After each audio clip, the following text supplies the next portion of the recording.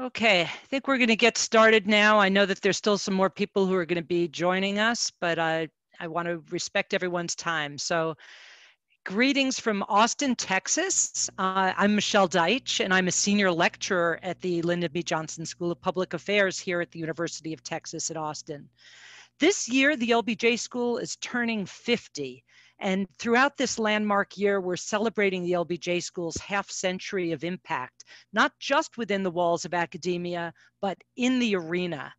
We've got a live new virtual series in the arena, which brings together world renowned policy experts and frontline stakeholders to serve and inform during this unprecedented global crisis.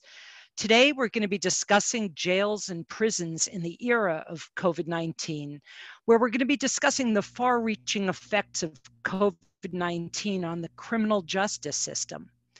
I've been working on criminal justice reform issues for a decade, for, for more than a decade, for, for close to uh, 30 years now, and never has this subject matter seemed more urgent or topical than it is right now. Okay, I'm going to go ahead and jump in and, and hope that Michele joins us as a later date, uh, at a later time, but hopefully soon. Um, I'm Nancy La Vigne. I'm Vice President for Justice Policy at the Urban Institute. Um, the Urban Institute is a nonprofit research organization based in Washington, D.C. Um, and I will turn it back over to Michele, who is muted, but will unmute and pick up where she left off my apologies. That is uh, uh, one of the one of the joys of uh, online stuff is trying to figure out poor internet service. Okay, I'm guessing Nancy that you introduced yourself. Uh, Ronald, have you introduced yourself yet, or shall I? No, we were basically okay. on hold waiting for your return. And I apologize again. Um, and Nancy, if I I don't know if you mentioned this, but I do want to mention that uh, you were honored for your uh, your long career in, in criminal justice uh, with the LBJ School's Distinguished Public Service Award in 2018. And so we're very proud of you as one of our alums. Um, and anyway, I'm also proud to uh, welcome uh, Dr. Ronald Day, who's Vice President of Programs at the Fortune Society in New York City. Ronald's had an amazing career working on issues such as reentry and efforts to dismantle mass incarceration. He's also formerly incarcerated, and so he brings an incredible perspective on these issues to our discussion today, especially since he's working at the epicenter of the COVID crisis with folks in the New York City jail system. So we're going to be talking about these issues for about 25 minutes or so. Then we'll open things up for questions from our audience. Please feel free to submit your questions through the chat function at any time, and we'll get to as many of them as possible at the end. Um, I'm going to start by just giving a little bit of a uh, an overview of these issues. Um, the COVID crisis is affecting every part of the criminal justice system, but we're going to focus specifically on jails and prisons today. Um, jails and prisons are like petri dishes. Think about the cruise ships or the nursing homes that you're hearing about, and think of those as on steroids when you're talking about prisons and jails. People are crowded into small spaces, very small cells or very crowded dormitories. They can't socially distance from each other. Um, they may be head to toe. They are together in, in dining halls and in lines for the shower. And everywhere they go, there's crowds of people. So they can't socially distance. There's a lack of hygiene supplies. They rarely have soap. Uh, hand sanitizer is contraband. Um, they often have broken sinks. Um, people have in, prisons and jails have lots of chronic illnesses that make them especially vulnerable to this disease. And we have very poor healthcare delivery systems within inside, inside prisons and jails. So um, these are places that we can expect the outbreaks to be vastly greater than they are in the free world so, why does it matter what's happening inside prisons and jails? Why should anyone on the outside care about this? You know, they've committed crimes. Why, why do we care? Well, the fact is that there's no bright line that this virus respects between what happens inside and what happens outside. The public health implications of this virus inside prisons and jails is tremendous. Um, you've got staff that are coming and going every day from these jails. So they are exposing people on the inside to uh, whatever they brought in from the outside, and they go out every day exposing their families and their communities. We also, um, jails in particular, have very high rates of churn. People come in and they go out on a very, very regular basis. So, what's happening inside is going to spread to the outside. Also, um, what happens inside is that um, because the healthcare delivery systems inside are inadequate to deal with this, it is going to present an incredible burden to the healthcare delivery systems in our communities as well. So um, our uh, hospitals are going to be full uh, and uh, and unable to deal with a very intense outbreak there. So we do need to care what happens, what, uh, what happens inside matters, it affects our communities. Um, so what are the main challenges and strategies for correctional administrators and other stakeholders who are dealing with this crisis? The first recommendation that you will hear from every expert in this area is the need to reduce the population of people who are incarcerated. And they need to be reduced in terms of reducing the numbers who are coming in at the front end so that they never come in the front door. And we also need to be getting more people out of the jails and the prisons at the back end. Um, we need those are the two ways to reduce the population. And the challenges are how to do that safely so that we're that we are releasing people or not bringing in people who are the lowest risk to the community. And i can tell you that every administrator that's looking at this issue every official that's looking at this issue is not talking about releasing people that are risky to our communities. They are talking about releasing elderly people, people who are medically vulnerable, or very, very low level, uh, people who are charged with very low level offenses who are in there simply because they can't pay their bonds. So these are people who, if they had money, would be getting out, but because they're poor, they're still in there. That's who we're talking about getting out of these facilities. But nevertheless, there's a lot of politics around this, and um, we're seeing that play out in many places, including in Texas. So, first strategy is reducing the population.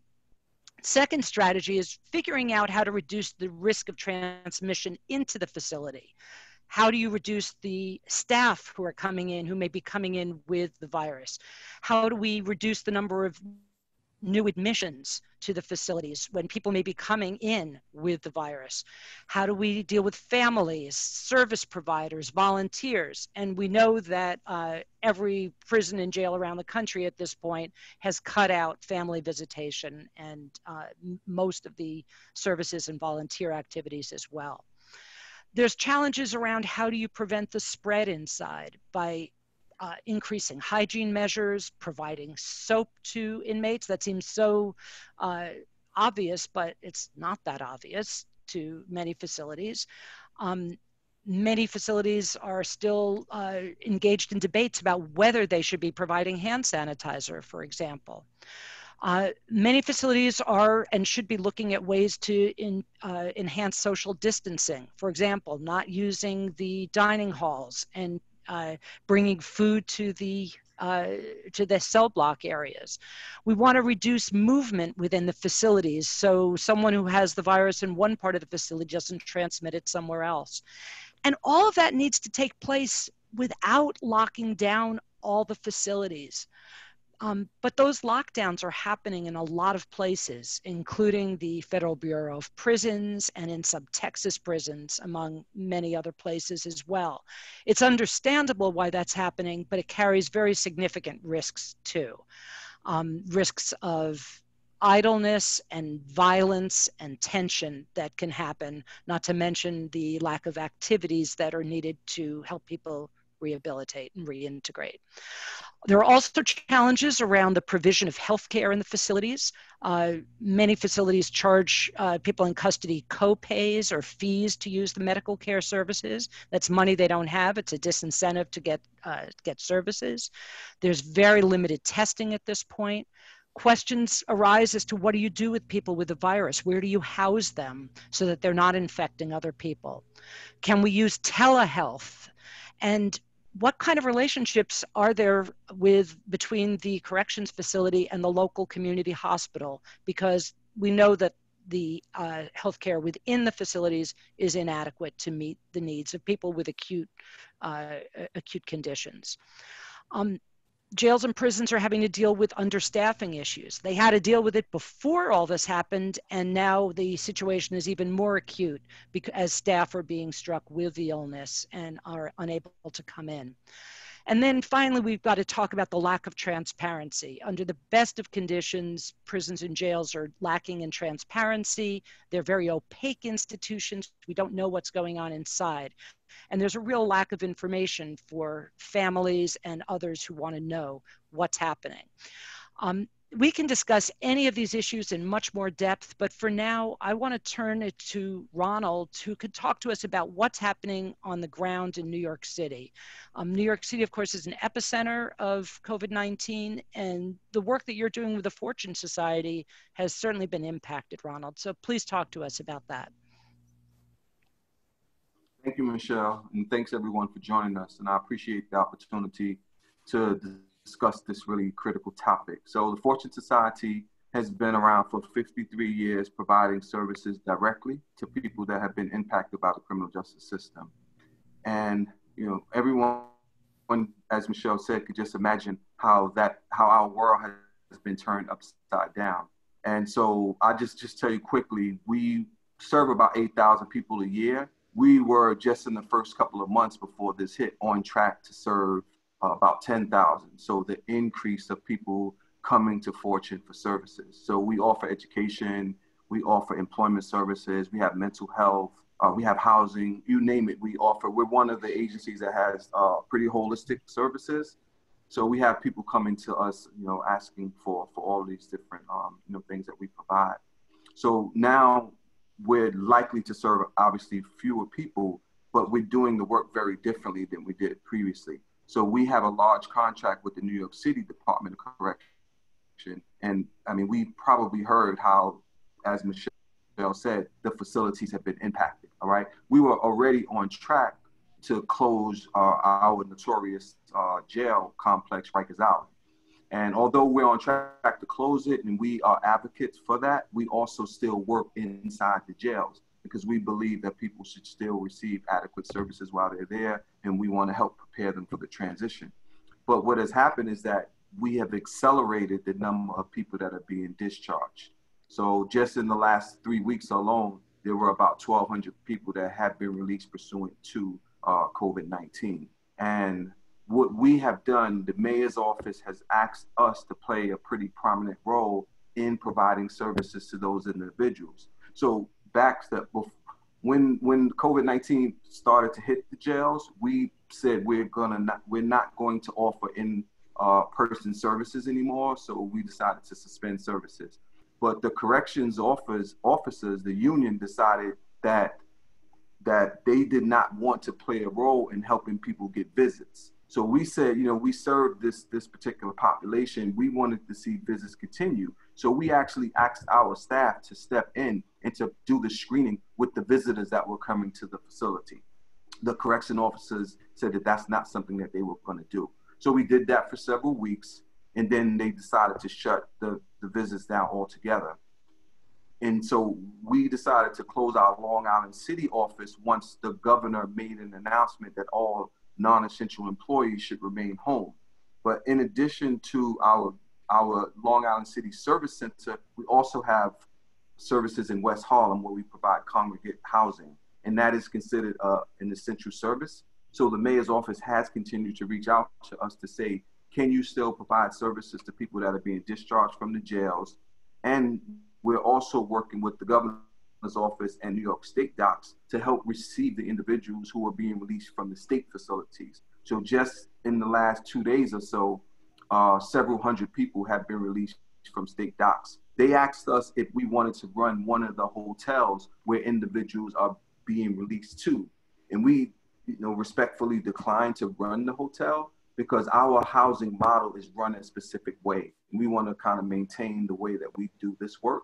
But one of our sister agencies did it, and we are providing them with support. So we drop off supplies to the hotel and you know in, engage with the service provider as much as possible.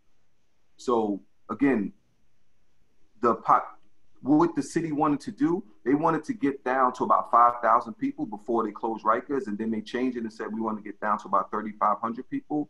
Right now, I just checked recently, and we're at 4,300 people. So we got down to that number in a pretty drastic fashion, you know, consistent with what Michele said. So, so that's essentially, you know, what we're doing. We in our Harlem office, people come there. We practice social distancing with them. We give them a gift card for $50 so that they can purchase food if they don't have it. We also distribute phones to them if they don't have a phone and a way to be in touch with us. We're also doing, we've transitioned 95% of our work to virtual. So we help them get Zoom accounts if they don't have them already. And we're actually offering workshops, our employment workshops, our uh, treatment workshops on through, through this potential, uh, through this virtual platform. And people who get who need medication, we're either taking the medication to them or having them come to our West Harlem office to pick up the medication.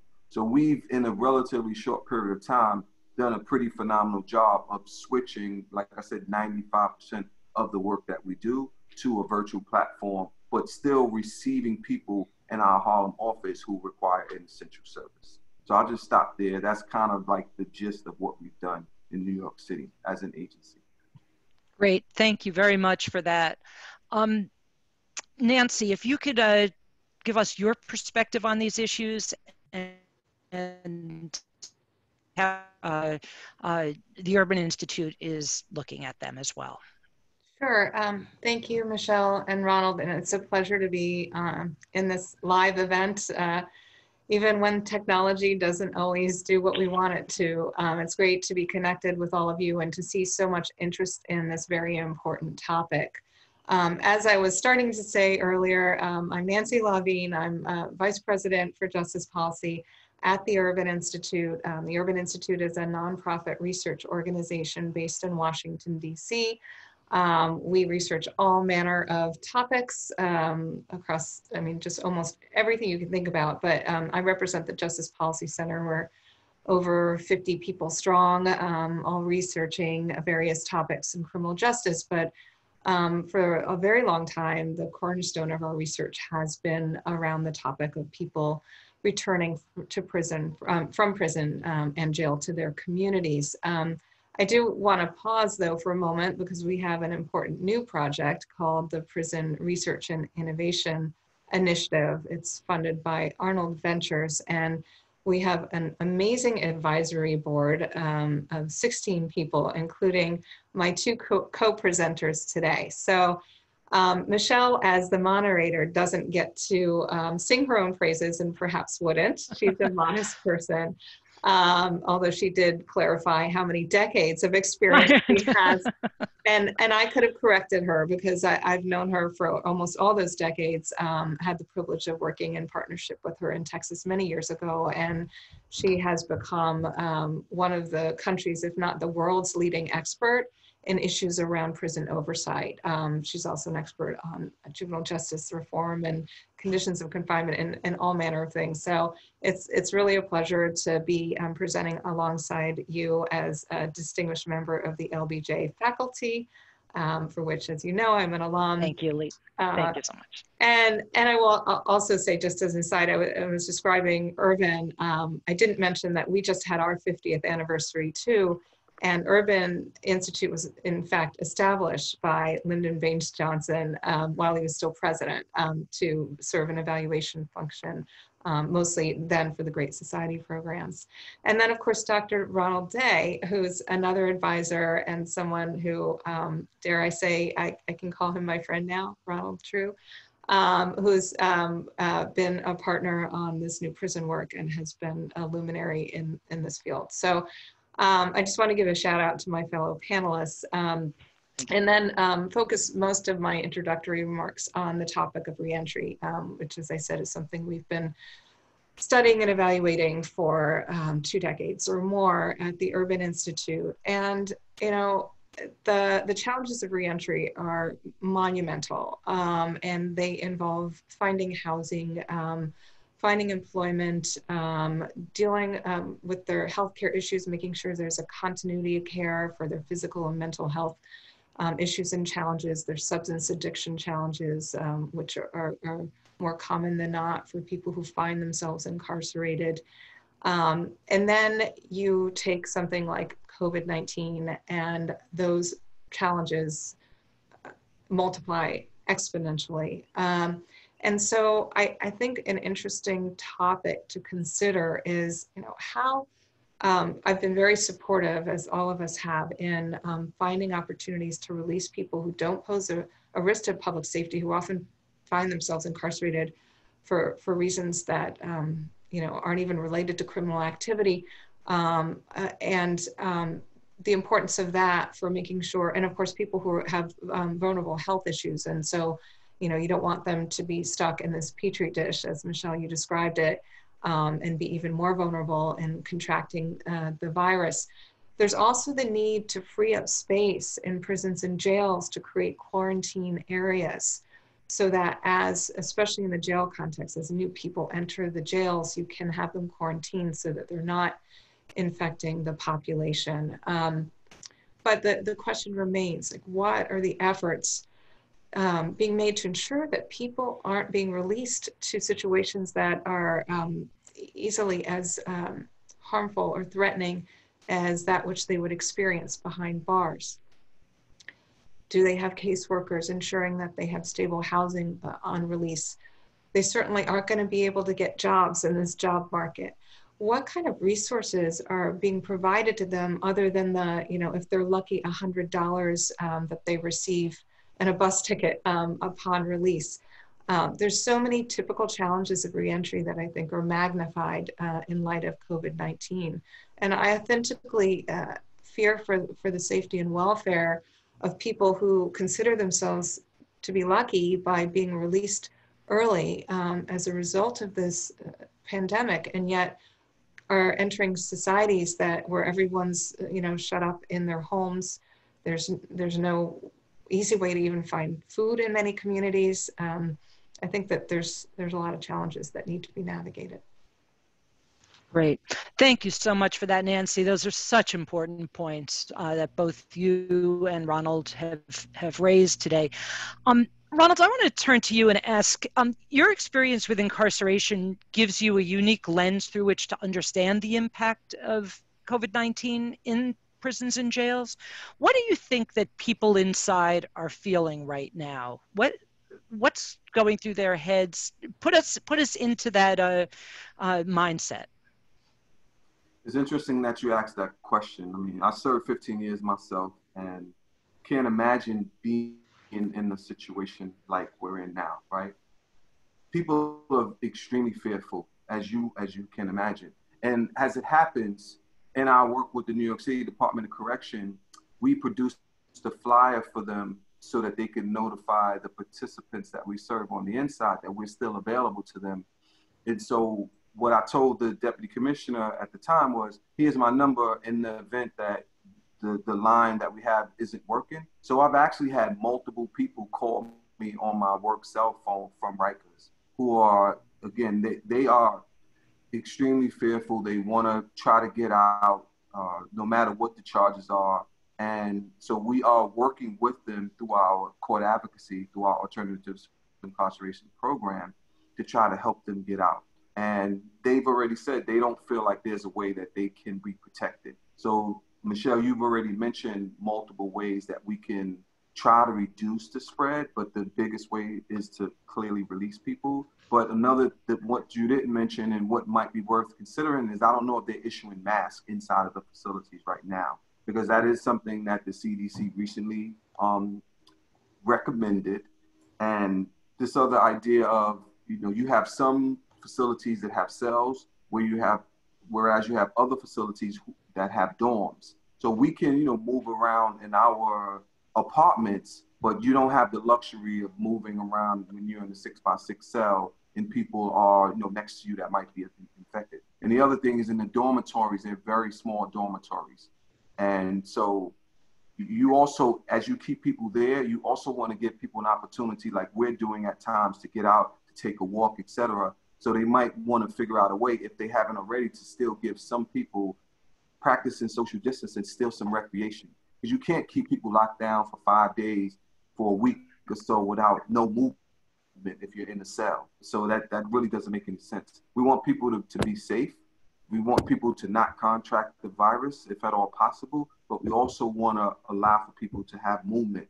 We want them to be able to, to eat and do all the things that they need to do to protect themselves if they have some pre-existing conditions. But our goal now and our advocacy is for them to allow as many people to be released as possible who are city sentenced, as well as those who are facing adjudication of their charges for lower level uh, crimes for which, as you've already mentioned, Michele, there's no real threat to public safety. And a lot of people in New York City are going back and forth because of either mental health issues or substance use issues. And they're not, the fact that they're there is because previously they couldn't afford their bails. And so now we're trying to get people out as quickly as possible.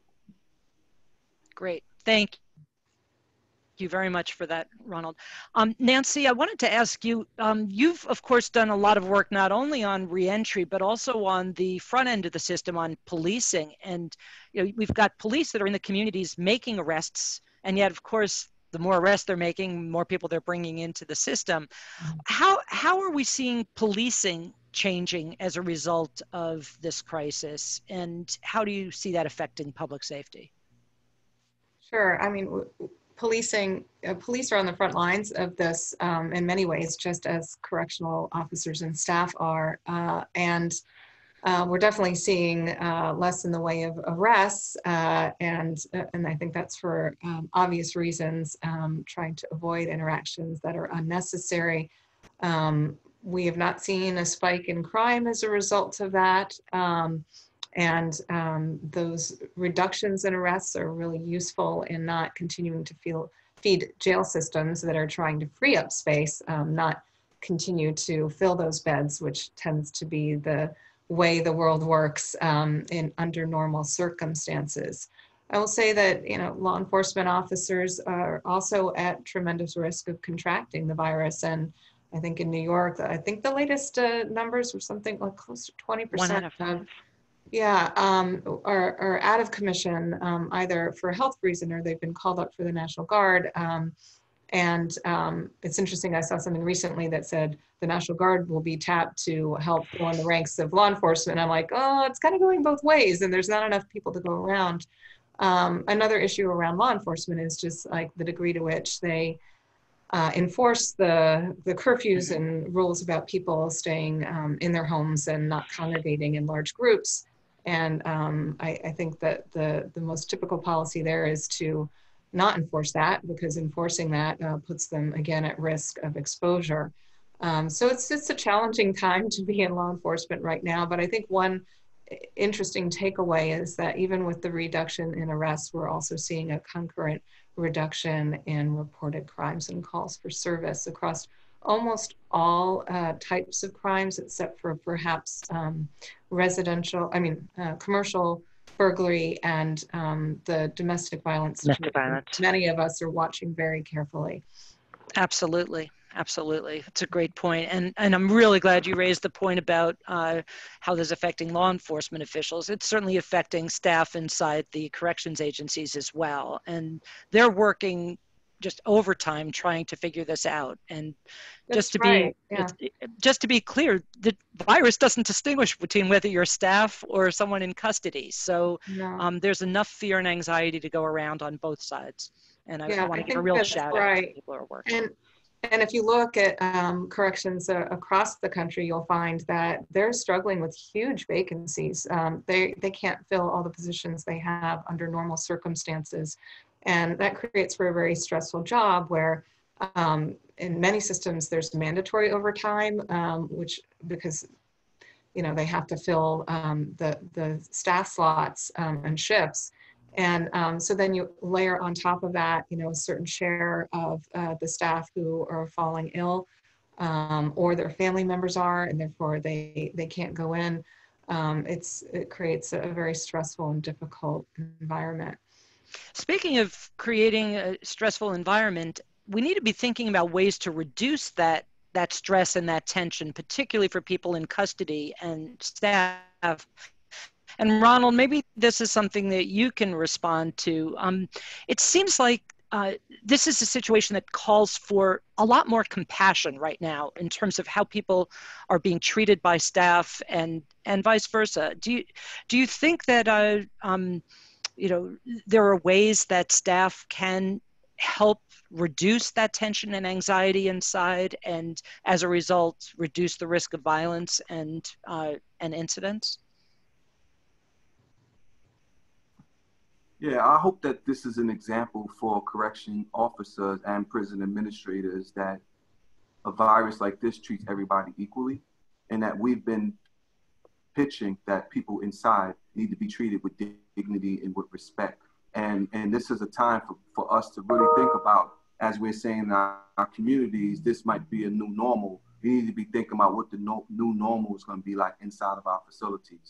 You know, one thing I I w- w- that I think we really need to consider is this idea of amnesty, because you, you have other countries who, at a certain point, they look back into their into their facilities, prisons and jails, and decide, you know, who needs to be released for whatever reasons. And we have this as an opportunity for us to think about people who have aged uh, people who have um, underlying conditions. And, and we just need to shift this focus that we've had over the years of, of, of this punitive um, uh, practice, not really considering all of these other factors. We've just been housing people um, this incapacitation as a, as, a, as a philosophy. There's a book out about moral panics by Michael, Michael Tonry, and he talks about how we shift oftentimes to draconian policies when there's a moral panic. I think this is a, an opportunity to do the opposite. How, when we have a situation that has caused billions of people, not just in the US, but around the world, to panic, but to say, how do we use this as a teachable moment to think about how we can treat people differently that come not that are not just those in our prisons, but at the front end, as you said, should we be incarcerating as many people as we are, and should we be uh, treating people in the system the way that we currently do. I mean, I, this is a real moment for us to really think about and discuss and try to implement some different policies. Mm-hmm. I, I think you're so right. I mean, we're we're in a crisis mode now, but we definitely need to be thinking about the ways that this is going to affect criminal justice reform going forward. Nancy, do you have any thoughts on on that?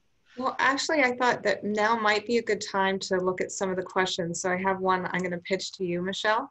Okay. Um, it's uh, what do you think about the Federal Bureau of Prisons' use of expanded home confinement as a mechanism for expediting early release? I think that anything that can get people out of these institutions is a good thing. Um, and uh, home confinement uh, makes a lot of sense right now. Mm-hmm. We're all kind of confined in our homes at the moment. But yeah, far superior to some of these federal halfway houses that um, the stories I'm hearing are pretty horrific. Um, they don't have things together the way uh, most of the correctional facilities do in terms of um, having um, safe spaces and distances that are needed to protect folks from um, contracting the virus. No, that's uh, absolutely right. Yeah, Ronald, here's a, another question. Um, can you speak more about the efforts at rapid housing options for folks who are released without confirmed housing, other than, well, including, but also other than Fortune's own um, housing program? And then maybe also speak a little bit to like how common or uncommon it is to have an entity like Fortune in a community that can help support successful reentry. Yeah, we should think about all of the discrimination that people face that are coming home from incarceration when it comes to what you said earlier, Nancy, and that's employment and housing. And and we live in a city where people are often at the margins in our in our uh, housing. So we we offer congregate housing, we have permanent housing, but ours is obviously very limited. We have hundreds of thousands of people that have been impacted by the system in our city. So what we're doing in this particular uh, climate is our our housing program is full, but we are in in no other housing programs are accepting people because of the concern about about COVID nineteen without doing a really intense screening. So we do have a housing program that is opening up in East Harlem on as of April 15th. We're, we're um, we are renovating the building right now, but it's only going to be 38 uh, people that we're going to be able to house. So that's a small number uh, in contrast to the people that need housing. There are other providers who are working with the city to expand their housing as we are doing now. But what this, what the city and the state has decided to do is to um, is to utilize some of the hotels that were not being widely used at this time. Um, there's there's one in Long Island.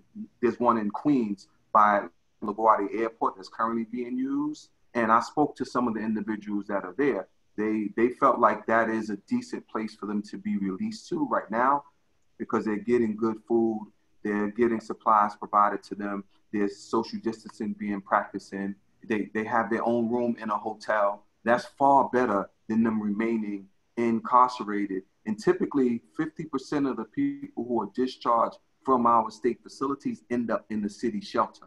And you don't want to come visit New York City uh, shelters, not the ones where where people end up. They, many of our participants tell us, I'd rather be back in prison than to be in one of the city shelters.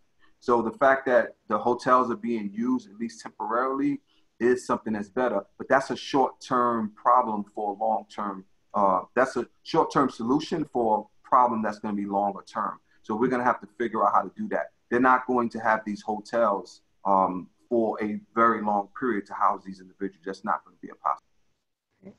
It's a pretty ingenious solution in the short run. I, I imagine colleges and universities that have dormitories might also be able to offer up some rooms and beds.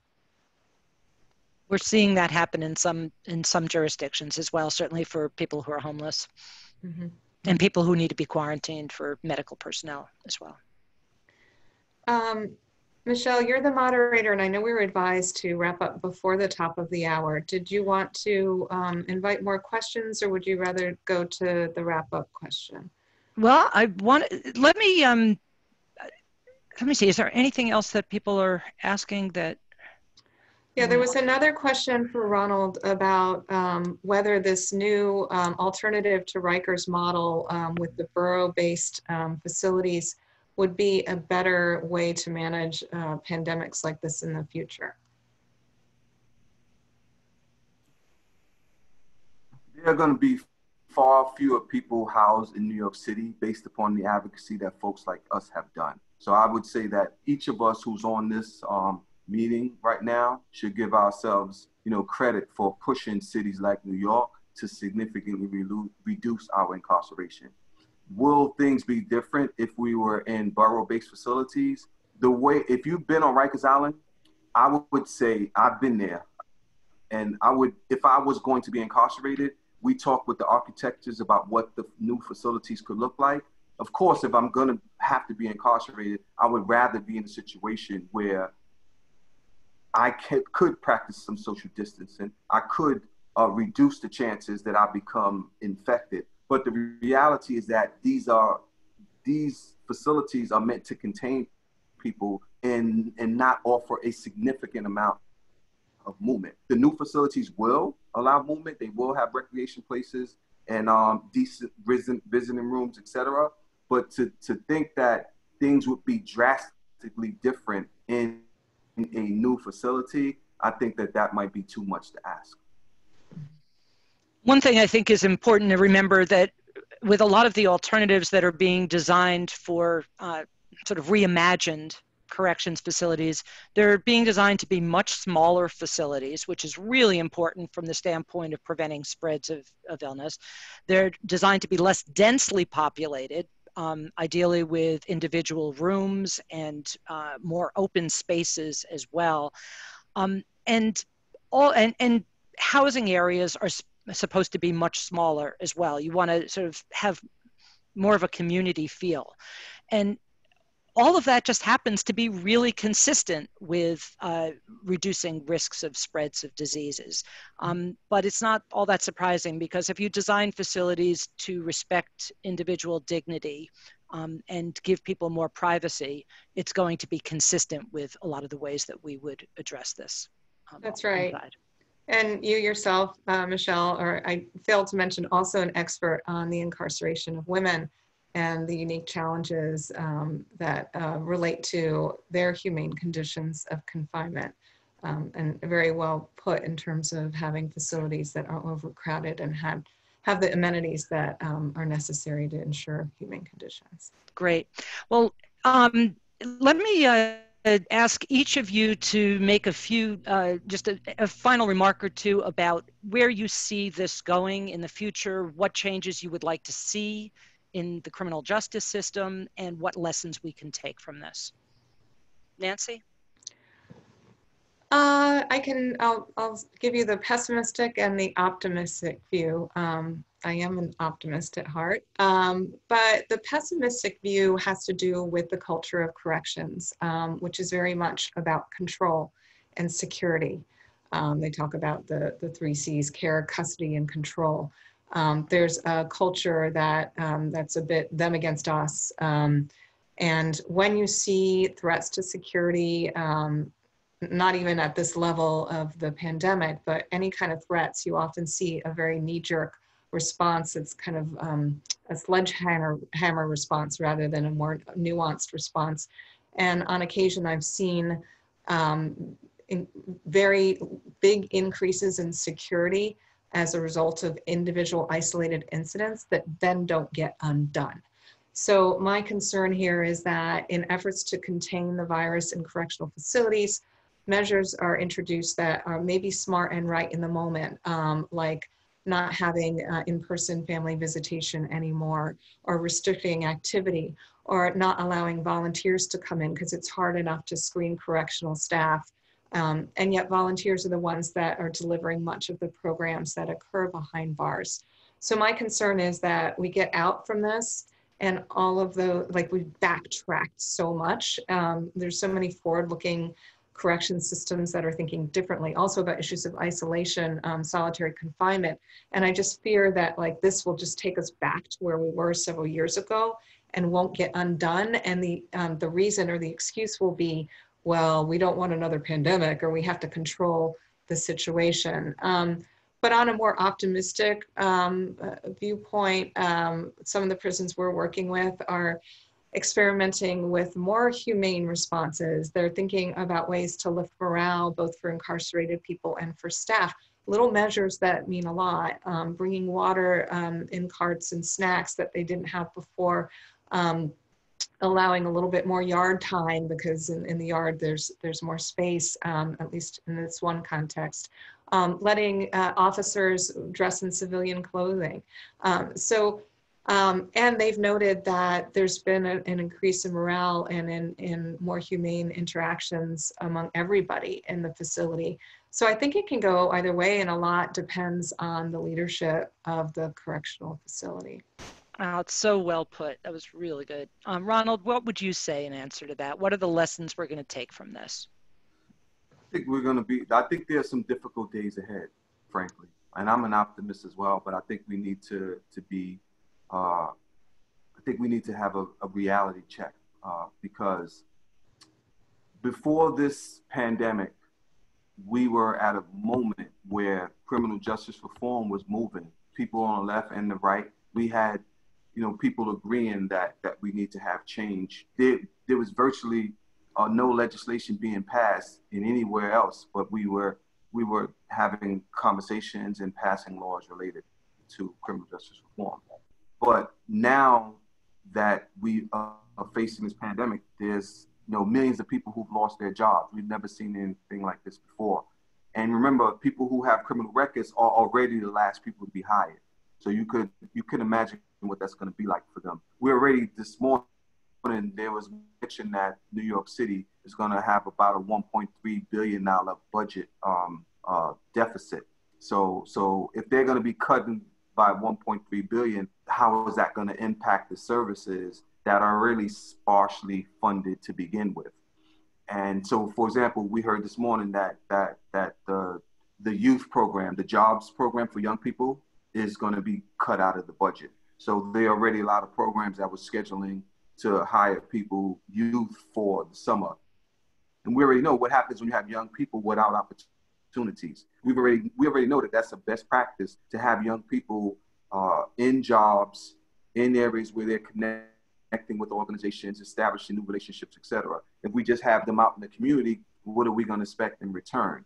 So we so again, I'm an optimist, but I like to be realistic. I would say that all of us who are on this call should be prepared to talk to members of the legislature, to talk to other advocates about what we can do with the resources that we have available to us in our particular jurisdiction.